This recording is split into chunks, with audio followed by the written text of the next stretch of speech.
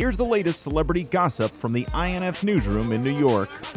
Maria Shriver seems to be at the end of her rope with the Paps. The journalist is in the process of divorcing womanizing governor Arnold Schwarzenegger, and clearly she needs her space right now.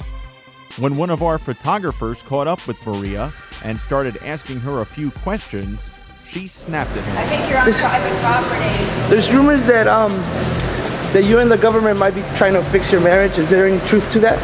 God bless you. I think you can do. You've been following me now all the time, and uh, I'd appreciate. I'm sorry, it's doing to my job. privacy. Thank you. No, I appreciate your respect to my privacy. Thank you so much.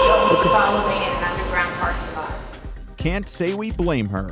A few days later, Maria seemed to be in much better spirits. We caught her taking her kids and their friends hiking in Corral Canyon Park in Malibu over the weekend. For more celebrity videos, log on to infdaily.com.